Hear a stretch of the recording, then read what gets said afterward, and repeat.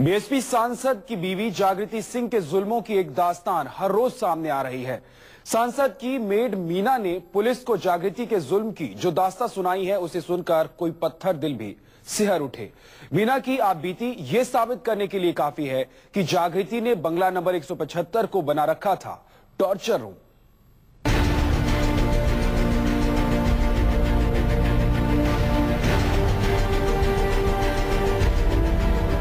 एक सांसद की डॉक्टर बीवी की दरिंदगी की दास्तान धीरे धीरे खुल रही है।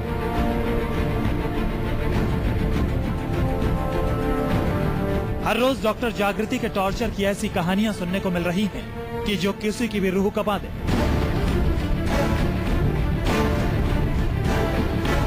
जागृति की जख्मी मेड मीना ने जो नया खुलासा किया, उसे सुनकर आपको इस महिला से नफरत हो जाएगी।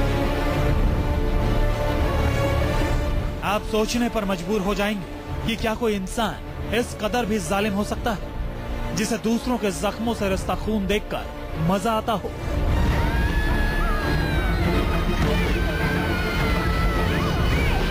जी हाँ जागृति की नौकरानी ने मजिस्ट्रेट के सामने जो बयान दिया है, उसके मुताबिक नौकरों को टॉर्चर करते हुए सन की महिला को उन पर रत्ती भर भी तरस नहीं आता था।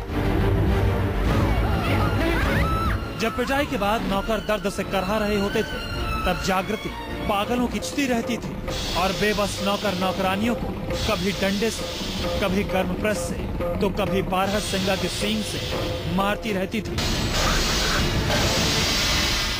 हैवानियत की ऐसी खौफनाक दास्ता यकीनन आपने इससे पहले असल ज़िंदगी में कभी नहीं सुनी होगी। हाँ फ़िल्मों में ज़रूर इस तरह के क्रूर किरदार होते हैं जो इंसानियत की सारी हदों को पार कर जाते हैं। लेकिन राजधानी दिल्ली में बेहद पौष इलाके में रहने वाली एक सांसद की बीबी ने इन फिल्मी किरदारों को भी मात दे दी है। नौकरों पर दिल दहलाने वाले जुल्म सांसद धनंजय सिंह के इसी बंगला नंबर 175 में होते थे। इस चार दीवारी के अंदर जालिम मालकिन का शिकार बने नौकरों की आवाज़ दबा दी जाती थी।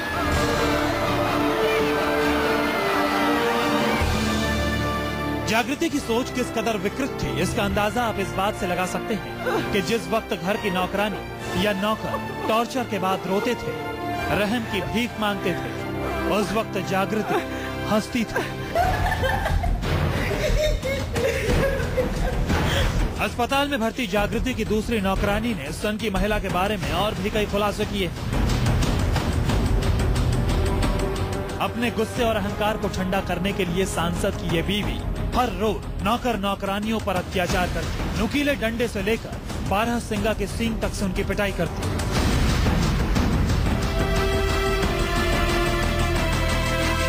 मीना ने पुलिस के सामने खुलासा किया है कि एक बार तो जागृति ने नाबालिग नौकर रामफल के मुँह में दरवाजे की चटकनी डालकर घुमा दी थी, जिससे उसके मुँह से खून बहने लगा।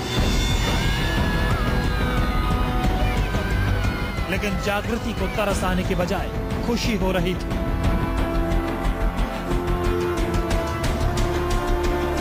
सांसद धनंजय सिंह की बीवी जागृति ने दरिंदगी की सारी हदें तो पार कर ही दी थी, लेकिन वो बेबस नौकरों के साथ ऐसा खिलौना बर्ताव करती, जिसे सुनकर आप सन्न रह जाएँगे।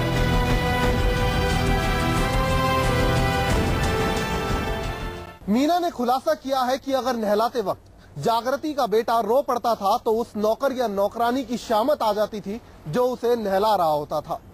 उस नौकर या नौकरानी को जागृति बच्चे का पेशाब पीने पर मजबूर कर देती थी और ऐसा नहीं करने पर उसे इतनी बुरी तरह टॉर्चर करती थी कि देखने वाले की भी रूह काँप उठे।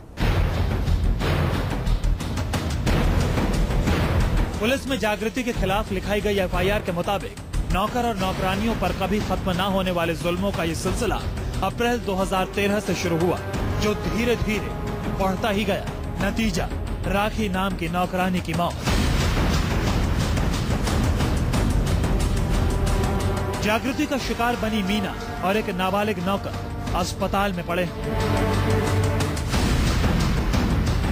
विनोद मिश्रा, दिल्ली, न्यूज़ 24